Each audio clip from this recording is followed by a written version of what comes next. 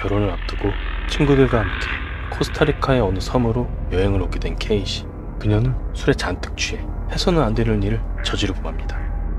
전날 무슨 일이 있었는지 기억 못한 채 현지인에게 알게 된 비밀 장소를 찾아 나선 세 사람. 이내 도착한 계곡의 한편은 이상한 알들로 가득 차 있었고 물놀이를 즐기던 케이시는 무언가에게 물리고 맙니다.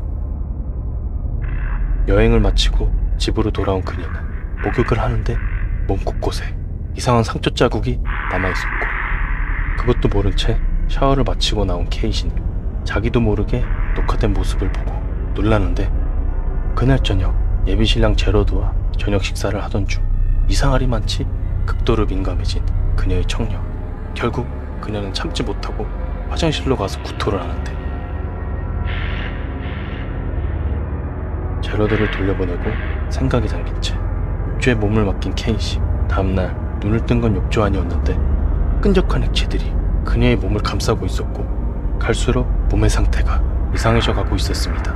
그날 밤 잠에서 깨어난 케이시 앞에 다 같이 몰려와 깜짝 파티를 해주는 친구들 이내 무수히 많은 날들이 케이시의 몸에서 쏟아져 나왔고 소스라치게 놀라도 이상하지 않았지만 오히려 그녀는 친구들에게 그만하라며 말을 지키는 행위를 보이는데 다행히 그건 꿈이었고 때마침 누군가 그녀를 찾아오자 조심스럽게 확인하러 가던 중 집안 곳곳에 대량의 알들이 퍼져 있는 걸 발견하게 됩니다. 제러드와 케이시의 결혼을 처음부터 탐탁지 않게 보다가 쌓였던 불만이 터져 나오며 케이시를 찾은 그녀는 결국 본성까지 말다툼을 벌이게 되고 몸이 이상해진 케이시가 이성을 잃어 그녀를 죽이고 맙니다.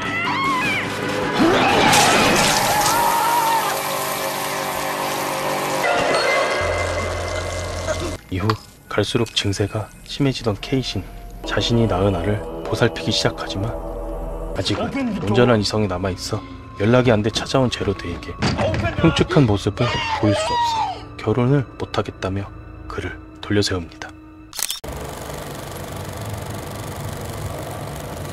며칠째 연락이 되지 않는 케이시가 걱정 찾아온. 커스티는 구석에 앉아있는 그녀를 발견해 달래주던 중 끔찍하게 변한 몰골을 보고 놀라서 도망친 커스티가 제로드 엄마의 시신을 숨겨둔 욕실로 들어가자 이성을 잃고만 케이시가 문을 부수고 들어가 그녀를 죽이고 맙니다.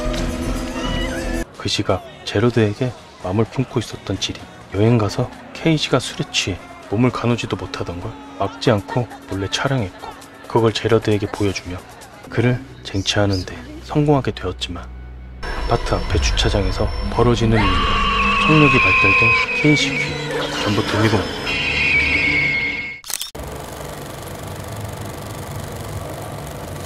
제러드와의 관계 도중 케이시의 고성으로 인해 중단된 뒤 집으로 돌아가다 자신의 행동이 후회되자 케이시를 찾아가게 되는데 질이 제로드를 얻기 위해 행한 모든 걸 알게 된 케이시는 그녀를 인질 삼아 제로드까지 오게 만들었고 그가 오자 시끄럽다며 가차없이 그녀를 죽여버립니다.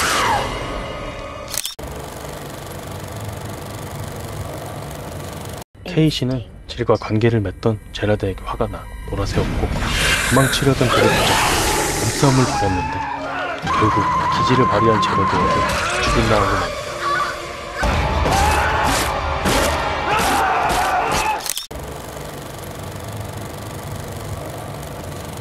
케이시와 사투를 벌이던 중 그녀의 꼬임에 넘어가 부상을 입게 된 제라드 바깥으로 집에 돌아와 신고를 하다 정신을 잃고 마는데 일주일 후 출동한 경찰에게 발견되지만?